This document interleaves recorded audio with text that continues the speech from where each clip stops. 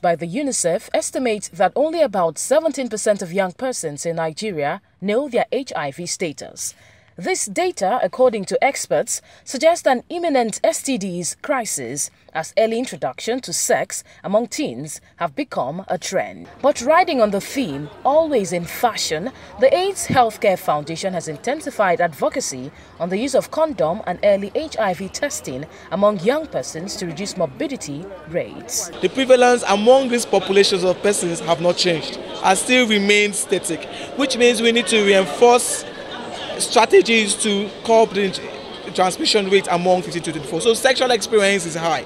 And that's why you want to say that how old or how young can a child be before you begin to sexually educate him?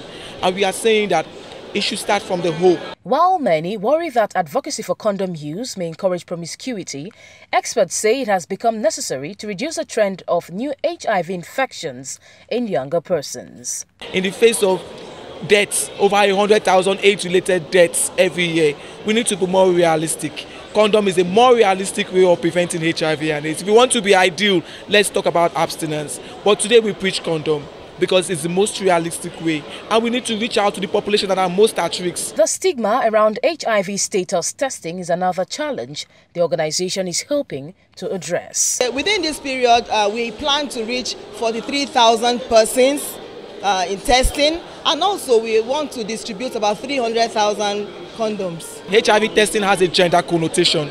It has an age connotation too. These populations of persons having the highest incidence, unfortunately, are not the highest in terms of age population that seek out HIV testing. With new HIV infections highest among persons between 15 to 24, and a national data suggesting that about 4.2% of young people live with HIV and AIDS, there are calls for government to address the decline in HIV AIDS program funding.